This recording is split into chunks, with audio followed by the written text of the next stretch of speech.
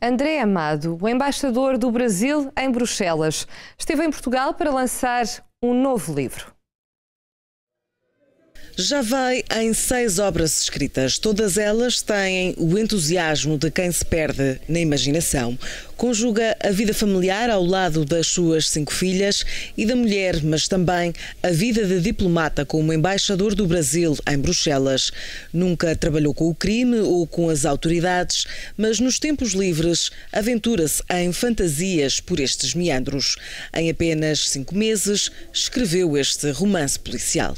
É uma aventura extraordinária. Primeiro, escrever uma aventura extraordinária, porque, como uh, eu não fui policial, nunca matei ninguém, nunca roubei nada, eu tive que inventar tudo que eu estava escrevendo. André Amado escreve sobre os contornos de uma investigação policial. A história, contada pelas palavras do embaixador, inicia num sequestro em plena luz do dia em Brasília.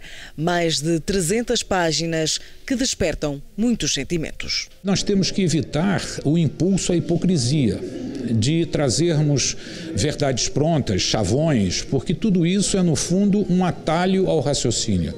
Nós temos que continuar refletindo, nós temos que continuar a pensar sobre os problemas uh, urbanos cotidianos e enfrentá-los pela porta da frente, não pela porta dos fundos, não hipocritamente. Ao lado da lei foi lançado em Lisboa e contou com a presença do homónimo, o embaixador do Brasil em Portugal.